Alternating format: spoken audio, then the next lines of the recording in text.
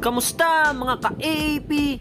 Welcome sa another Axie Infinity video natin. Ako nga pala si Carl Jolis at nandito kayo ngayon sa aking YouTube channel. At sa mga viewers po natin dyan, baka naman po pwede na pa-subscribe na po at pa-on na rin po ng notification bell para updated kayo once na meron akong bagong upload tulad nito. Tulungan nyo po ako na maabot ang ating goal na 100k subscribers. Thank you so much sa inyong lahat. Guys, mag-avail na din kayo ng ating YouTube membership. I-click nyo lamang po yung join na makikita nyo sa ilalim ng pangalan ko. At yun nga, bago tayo guys uh, pumunta sa ating laban, gusto ko munang mag-shoutout sa ilan sa mga viewers natin.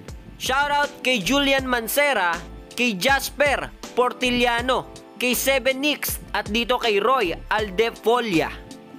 Shoutout din po dito kay Wendil Cabigas. Shoutout dito kay JR Reyes, kay Jomar Garbo, kay Raymond De La Cruz, at dito kay Renz Razel Valdez.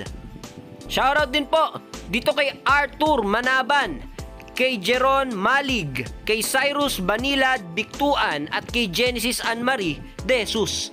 At dito din po kay Paulito Castro, kay LVM Roque na pinapashoutout din yung kanyang asawa na si Madam Weng Ramirez at sa baby niya na si Renoa. At shoutout din kay Yapets TV na si Jeff De Chavez. Shoutout sa inyo guys, thank you sa inyong suporta at sa mga gusto magpa-shoutout next video ay mag-comment lamang kayo. Syempre, priority natin yung merong mga membership badge kaya naman mag-join na kayo sa ating YouTube membership. Thank you! At yun nga guys, tara na, simulan na natin ang ilan sa mga uh, ah, AAP best strategy na pwede nyong uh, matutunan or pwede nyong uh, gamitin para tumaas yung MMR nyo ngayong season 19. Kaya tara, sana meron kayong matutunan at sana mag-enjoy kayo dito sa video natin. Tara! So ito na nga guys, punta na tayo sa ating first game. AAP ang ating team at kalaban natin dito si Mafia Boss. At ito na, BBP, sabi nila ito daw yung OP ngayon or yung mga na-buff, yung Bird, Beast, Plant. So check muna natin guys yung cards ng mga kalaban natin sa first round tulad nung palagi kong paalala sa inyo. Sigurado marami ngayon yung magpapalit ng team tapos magpapalit sila ng BBP kasi sabi nila ito daw yung uh, meta ngayong season. So, ayan, pwede na tayo sa ating first round guys, ano?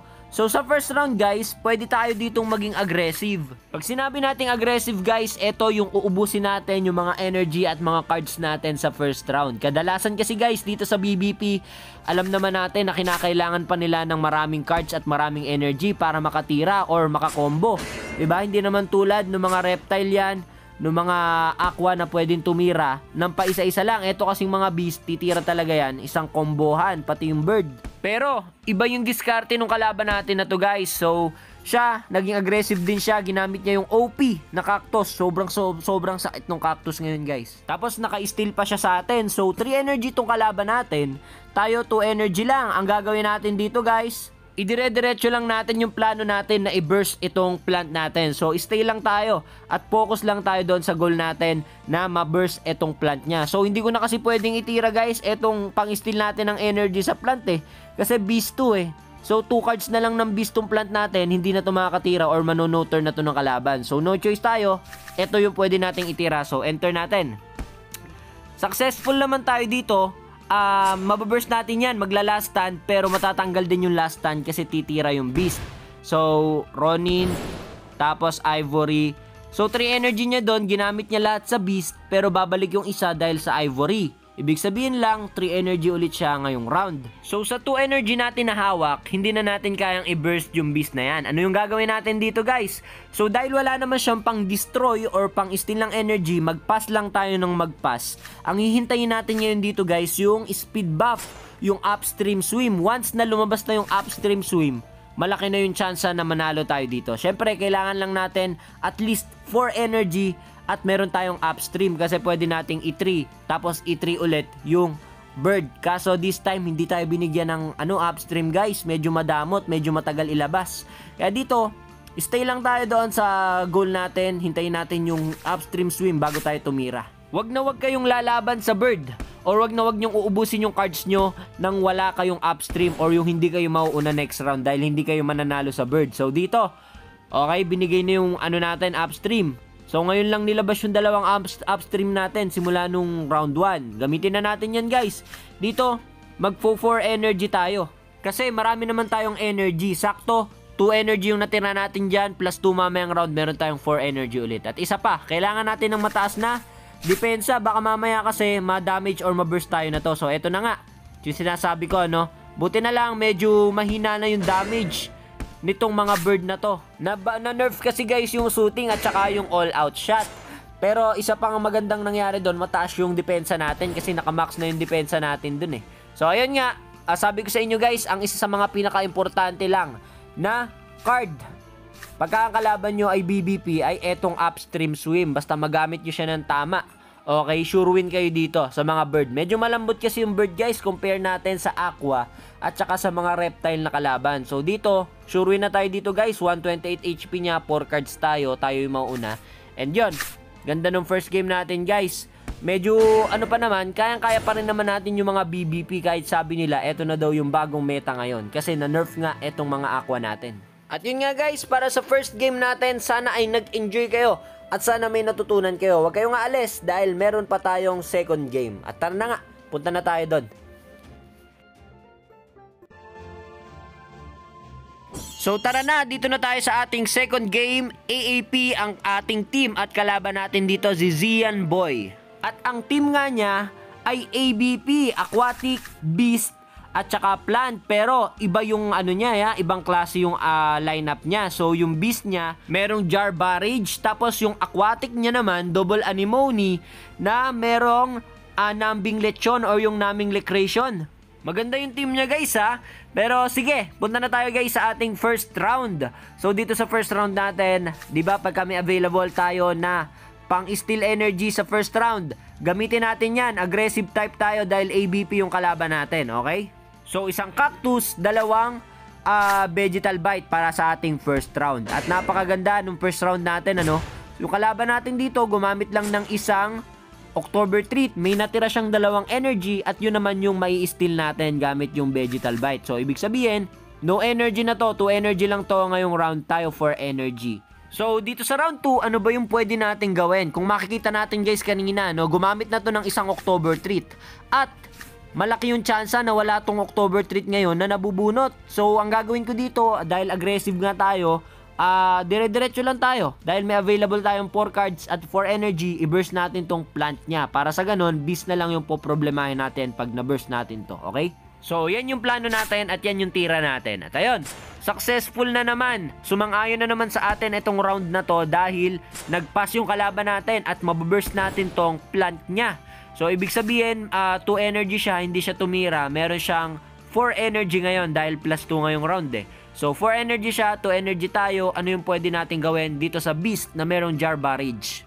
So, kung makikita nyo, available ang October Treat at isa nating Night Steal or yung pang-steal ng energy. So, yan yung gagamitin natin guys. Para kung sakali na hindi tayo ma-burst nito at nagtira ng energy, may steal natin yon At maganda-gandang ano yun, maganda-gandang kalamangan sa atin yon Mahirap i-burst to kasi naka-jar barrage to eh alam nyo naman na kayang-kayang patigilin nung jar barrage yung damage natin pagka mababa lang yung shield niya. So dito, ayan na.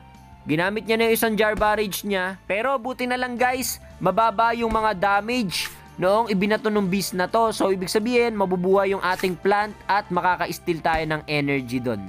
So yung 4 energy niya, ginamit niya lahat. Okay, gumamit ng dalawang ivory, babalik yung dalawang en- energy niya doon. Na-steal ko yung isa, so isa lang yung stack niya. Plus doon ngayong round, meron siyang 3 energy. So pareho kaming 3 energy dito. What you gonna do? What you gonna do pagka ganito yung sitwasyon? So, dahil may jar barrage to, uh, kailangan natin matimingan kung ilang shield ba ilalagay. So pag nag-20 lang to, 'di ba? 20 lang yung isang jar barrage. So pag nag-20 to, kaya natin basagin gamit lang yung tail slap.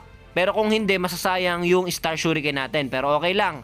Yung backup nating dalawang Oranda yung tatama doon sa pangalawang uh, aksi natin na titira. So, eto na nga. Okay, masasayang yung damage ng Star Shuriken natin doon dahil naka-jar barrage. Pero papasok naman yung dalawa na Oranda doon sa likod na aksi natin. So, 3 energy niya, pinang-destroy niya isa. Ronin yung isa at saka isang jar barrage. Ibig sabihin, wala na tong energy. 2 energy na lang to ngayong round, pareho kami. Pero ang kagandahan, wala na rin siyang jar barrage ngayon. So, dito sa round 5, 2 energy lang yan, malaki yung tsansa na magpapas lang yan.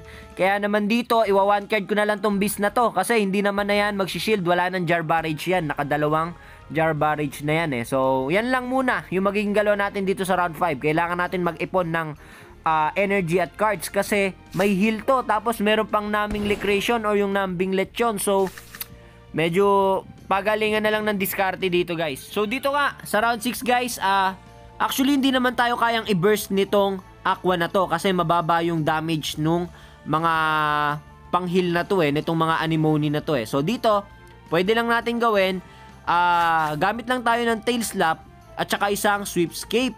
Okay, wag nyong gagamitin yung mga long range nyo para pag ninambing kayo, okay lang. Meron pa rin kayong ipantitirang mga long range, okay? So, yan lang muna yung magiging galaw natin. Ipon energy, ipon cards. So, eto na yung sinasabi ko guys. For energy tong kalaban natin, okay? Pero ginamit niya lahat ng for energy niya guys. So, gamit siya ng dalawang lam, tsaka pang heal, at tsaka isang ah, naming lecration or nambing lechon. So doon, sabi ko sa inyo, 'di ba, mahina lang yung damage nitong aqua na to kaya hindi niya tayo na burst. Ngayon, ano yung pwede nating gawin dito?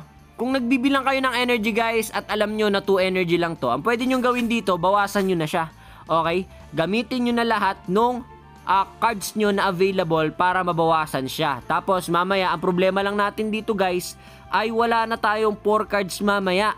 Okay? Kasi kada round 3 energy lang yung binibigay at kung makikita nyo guys, yung axe natin na matitira, wala nang ah, cards sa, sa deck. Ibig sabihin, magiging available lang yan mamaya 3 cards. Pero, ang kagandahan dito guys ay nabawasan natin ng malala etong aqua na to. Tapos, hindi pa tumama yung isa niyang heal. So, dito, 4 energy tayo. Ang problema, 3 cards lang tayo. Pero, 2 energy lang tong kalaban natin. Possible, ang shield lang na to, nasa 80 ulit. Kayang-kaya natin yung i-burst kasi hindi na to makakapag-heal eh. Second na siya. Okay? So, gamitin na natin itong tatlong energy. Ngayon, kapag ka nabuhay to, tayo pa rin na may mauuna next round. Ang problema lang, pag nabuhay to, baka manambing tayo or manaming recreation tayo. So, wish na lang na sana ma- ma-burst na to at kayang-kaya naman kasi nga 2 energy lang siya. So, hindi siya nakapag-shield ng mataas doon at ayun, approve na approve, pasok na pasok yung huling tira natin doon. At yun nga guys, sana may natutunan kayo at sana nag-enjoy kayo dito sa bagong video natin ngayong araw. At kung nagustuhan nyo nga guys, ay mag-comment lang kayo, mag-like at syempre mag-subscribe na kayo at mag-join sa ating YouTube ah, membership. Yun lang. Thank you guys sa inyong panonood. Hanggang sa susunod.